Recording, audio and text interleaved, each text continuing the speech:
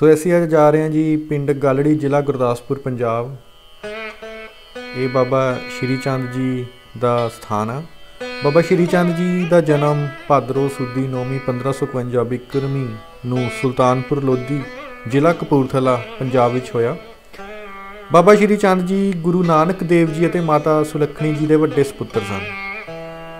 ਬਾਬਾ ਜੀ ਨੇ ਸੰਸਾਰ ਦੇ ਦੂਰ ਦੂਰ ਸਥਾਨਾਂ ਦੀ ਯਾਤਰਾ ਕੀਤੀ।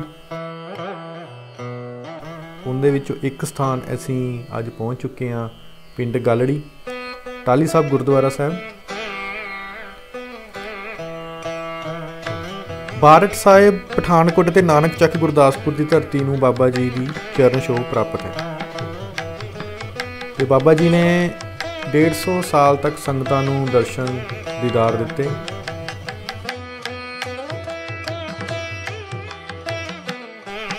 ਉਹ ਸਾਹਮਣੇ ਸਕੂਲ ਹੈ ਵੂਮਨ ਉਹ ਵੀ ਬਾਬਾ ਜੀ ਦੇ ਨਾਂ ਤੇ ਸਕੂਲ ਦਾ ਨਾਂ ਰੱਖਿਆ ਗਿਆ ਹੈ।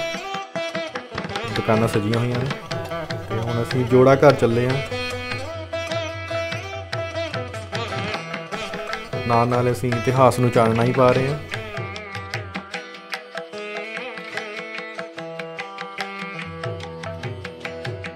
ਗੁਰਦੁਆਰਾ ਸਾਹਿਬ ਦੀ ਲਾਇਬ੍ਰੇਰੀ ਤੇ ਗਏ। ਇੱਥੇ ਕਿਤਾਬਾਂ ਪੜ੍ਹਨ ਨੂੰ, ਘਰ ਲਿਜਾਣ ਨੂੰ ਮਿਲਦੀਆਂ ਆ। ਤੁਸੀਂ ਆਪਣਾ ਐਡਰੈਸ ਦਿਓ ਫੋਨ ਨੰਬਰ ਦਿਓ ਤੇ ਤੁਸੀਂ ਆਪਣੇ ਘਰ ਲਿਜਾ ਕੇ ਕਿਤਾਬ ਪੜ੍ਹ ਸਕਦੇ ਹੋ, ਇੱਥੇ ਹੀ ਪੜ੍ਹ ਸਕਦੇ ਹੋ। ਤੇ ਇਹ ਤਸਵੀਰਾਂ ਸੀ ਹਰੀ ਸਿੰਘ ਨਲੂਆ ਜੀ ਦੀਆਂ, ਮਹਾਰਾਜਾ ਰਣਜੀਤ ਸਿੰਘ ਜੀ ਦੀਆਂ। ਉਹ ਸਾਹਮਣੇ ਦਰਸ਼ਨ ਹੁੰਦੇ ਸੀ ਗੁਰਦੁਆਰਾ ਸਾਹਿਬ ਦੇ। ਤੇ ਆਓ ਆਪਾਂ ਲਾਇਬ੍ਰੇਰੀ ਅੰਦਰ ਚੱਲੀਏ ਤੇ ਦੇਖੀਏ ਕਿਹੜੀ ਕਿਹੜੀ ਕਿਤਾਬ ਇੱਥੇ ਕਿਸ ਤਰ੍ਹਾਂ ਕਿਤਾਬਾਂ ਚਿਣੀਆਂ ਹੋਈਆਂ ਨੇ ਤੇ ਕਿਹੜੀ ਕਿਹੜੀ ਮਿਲਦੀ ਹੈ ਕਿਤਾਬ ਪੜ੍ਹਨ ਨੂੰ। ਦੇਖੋ ਜੀ, ਇੱਥੇ ਆਜ਼ਾਦੀ ਦੇ ਨਾਲ ਸੰਬੰਧਿਤ ਕਿਤਾਬਾਂ ਆ, ਕਵੀ ਰਚਨਾ ਕਿਤਾਬਾਂ ਆ, ਪੰਜਾਬ ਦਾ ਇਤਿਹਾਸ ਤੇ ਹੋਰ ਵੀ ਕਈ ਜਿਹੜੀਆਂ ਧਾਰਮਿਕ ਕਿਤਾਬਾਂ ਆ, ਤੇ ਉਹ ਇੱਥੇ ਸਾਰੀਆਂ ਉਪਲਬਧ ਆ। ਹਿੰਦੀ 'ਚ ਵੀ ਆ, ਪੰਜਾਬੀ 'ਚ ਵੀ ਆ। ਤੇ ਕੁਝ ਮੈਂ ਦੇਖੀਆਂ ਇੱਥੇ ਉਰਦੂ ਦੀ ਕਿਤਾਬ ਵੀ ਸੀ। ਹੁਣ ਇਹ ਨਹੀਂ ਪਤਾ, ਮੈਂ ਇਹ ਕਿਤਾਬ ਸਿੱਧੀ ਫੜੀ ਕਿ ਪੁੱਠੀ ਫੜੀ, ਮੈਨੂੰ ਪਤਾ ਨਹੀਂ ਲੱਗਿਆ। ਤੇ ਇੱਥੇ ਮੈਂ ਇੱਕ ਕਿਤਾਬ ਦੇਖੀ, ਭਗਤਾਂ ਦੀ ਬਾਣੀ। ਜਿਹਦੇ ਵਿੱਚ ਸਾਰੇ ਭਗਤਾਂ ਦੀ ਬਾਣੀ ਆ ਉਹ ਵੀ ਇੱਥੇ ਸੀ।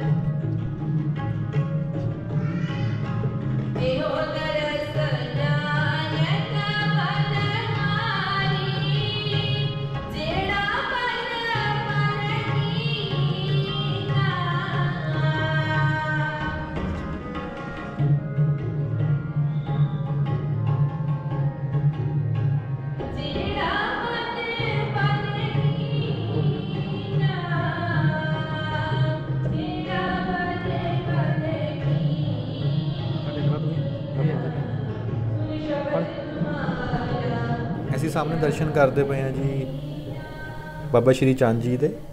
ਤੇ ਪਿੱਛੇ ਦੇਖੋ ਜਿਹੜੀ ਆ ਪੀਲਾ ਕੱਪੜਾ ਲਪੇਟਿਆ ਹੋਇਆ, ਇਹ ਟਾਲੀ ਸਾਹਿਬ ਨੂੰ ਲਪੇਟਿਆ ਹੋਇਆ ਜੋ ਕਿ ਇੱਥੇ ਦਾ ਇਤਿਹਾਸ ਹੈ। ਇਤਿਹਾਸ ਇਸ ਤਰ੍ਹਾਂ ਕਿ ਬਾਬਾ ਜੀ ਕਸਬਾ ਡੇਰਾ ਬਾਬਾ ਨਾਨਕ ਸਾਹਿਬ ਤੋਂ ਬਾਟ ਸਾਹਿਬ ਤੱਕ ਇੱਕ ਕੱਚੀ ਪਗਡੰਡੀ ਦੇ ਰਸਤੇ ਤੋਂ ਆਉਂਦੇ ਜਾਂਦੇ ਸੀ। ਤੇ ਇਤਿਹਾਸਕਾਰਾਂ ਦੇ ਅਨੁਸਾਰ ਜਿਹੜਾ ਰਾਵੀ ਦਾ ਦਰਿਆ ਆ, ਉਹ ਇਸੇ ਪਿੰਡ ਵੱਲ ਉਹਦਾ ਵਹਿਣ ਸੀ। ਉਹ ਵਹਿਣ ਦੇ ਹੋਣ ਦੇ ਕਾਰਨ ਜਦੋਂ ਉਹ ਹੜ੍ਹ ਆਉਂਦੇ ਸੀ ਤਾਂ ਫਸਲਾਂ ਸਾਰੀਆਂ ਖਰਾਬ ਹੋ ਜਾਂਦੀਆਂ ਸੀ ਤਾਂ ਲੋਕਾਂ ਦਾ ਜਿਹੜਾ ਗੁਜ਼ਾਰਾ ਸੀ ਉਹ ਇਸ ਫਸਲ ਤੇ ਨਿਰਭਰ ਸੀ। ਤਾਂ ਇੱਕ ਦਿਨ ਬਾਬਾ ਜੀ ਰਾਵੀ ਦੇ ਕਿਨਾਰੇ ਠਹਿਰੇ ਤੇ ਉਹਨਾਂ ਨੇ ਰਾਤ ਕੱਟੀ ਤੇ ਸਵੇਰੇ ਲੋਕਾਂ ਨੂੰ ਪਤਾ ਲੱਗਿਆ ਕਿ ਇੱਥੇ ਬਾਬਾ ਜੀ ਠਹਿਰੇ ਹੋਏ ਨੇ ਤੇ ਸਵੇਰੇ ਉਹਨਾਂ ਕੋਲ ਸਾਰੇ ਇਕੱਠੇ ਹੋ ਕੇ ਗਏ ਤੇ ਉਹਨਾਂ ਨੇ ਆਪਣੀ ਜੋ ਸੀ ਦੱਸੀ ਗੱਲ ਕਿ ਦਰਿਆ ਜਦੋਂ ਆਂਦਾ ਤਾਂ ਸਾਡੀ ਸਾਰੀ ਫਸਲ ਖਰਾਬ ਕਰ ਜਾਂਦਾ ਹੈ। ਤਾਂ ਬਾਬਾ ਜੀ ਜਿਹੜੀ ਉਹ ਦਾਤਨ ਕਰਦੇ ਪਏ ਸੀ ਤਾਂ ਉਹਨਾਂ ਨੇ ਉਹ ਦਾਤਨ ਰਾਵੀ ਦੇ ਕਿਨਾਰੇ ਤੇ ਗੱਡਤੀ ਤੇ ਰਾਵੀ ਦੇ ਦਰਿਆ ਨੂੰ ਕਿਹਾ ਕਿ ਤੂੰ ਇਹਨਾਂ ਲੋਕਾਂ ਨੂੰ ਕਿਉਂ ਪਰੇਸ਼ਾਨ ਕਰਦੇ ਨੇ? ਤੇਰਾ ਕੀ ਵਿਗਾੜਿਆ ਜਾਂ ਆਪਣਾ ਤੂੰ ਰਸਤਾ ਬਦਲ ਲੈ। ਉਸੇ ਦਿਨ ਤੋਂ ਉਹ ਦਰਿਆ ਜਿਹੜਾ, ਉਹ ਕਈ ਦੂਰ ਕਿਲੋਮੀਟਰ ਜਾ ਕੇ ਵਹਿਣ ਲੱਗ ਗਿਆ। ਇਸ ਤਰ੍ਹਾਂ ਇਸ ਸਥਾਨ ਤੇ ਉਹ ਜਿਹੜੀ ਟਾਲੀ ਗੱਡੀ ਸੀ ਅੱਜ ਉਹ ਟਾਲੀ ਸਾਹਿਬ ਗੁਰਦੁਆਰਾ ਸਾਹਿਬ ਸੁਸ਼ੋਭਿਤ ਹੈ ਜੀ। ਤਾਂ ਇੱਥੇ ਸੰਗਤਾਂ ਦੂਰੋਂ ਦੂਰੋਂ ਆਉਂਦੀਆਂ, ਨਮਸਤਕ ਹੁੰਦੀਆਂ ਤੇ ਲੰਗਰ ਪ੍ਰਸ਼ਾਦਾ ਛਕਦੀਆਂ। ਅਸੀਂ ਵੀ ਗੁਰਦੁਆਰਾ ਸਾਹਿਬ ਦੇ ਦਰਸ਼ਨ ਕੀਤੇ।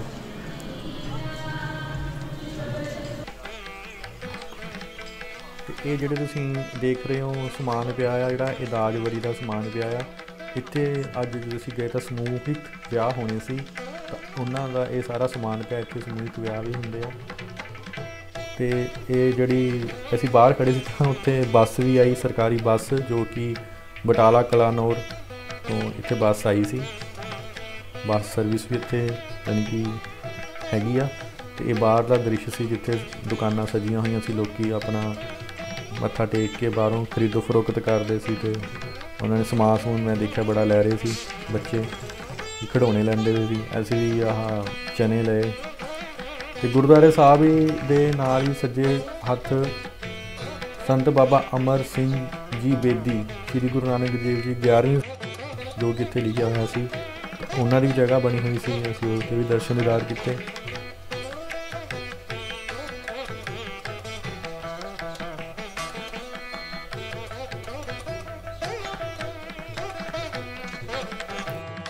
ਮਨ ਖੁਸ਼ ਹੋਇਆ ਹੋਵੇ ਤਾਂ ਜ਼ਰੂਰ ਦੂਰ ਦੂਰ ਤੱਕ ਵੀਡੀਓ ਨੂੰ ਭੇਜਣਾ ਤੇ ਬਾਹਰਲੀਆਂ ਸੰਗਤਾਂ ਵੀ ਦੇਖ ਕੇ ਖੁਸ਼ ਹੋ ਸਕਣ। ਤੇ ਇਹ ਜਿਹੜਾ ਟਾਲੀ ਸਾਹਿਬ ਗੁਰਦੁਆਰਾ ਸਾਹਿਬ ਆ 12 ਕਿਲੋਮੀਟਰ ਦੂਰ ਗੁਰਦਾਸਪੁਰ ਤੋਂ ਹੈ ਤੇ ਕੁਛ ਹੀ ਦੂਰ ਇੱਥੋਂ ਭਾਰਤ ਤੇ ਪਾਕਿਸਤਾਨ ਦਾ ਬਾਰਡਰ ਹੈ ਧੰਨਵਾਦ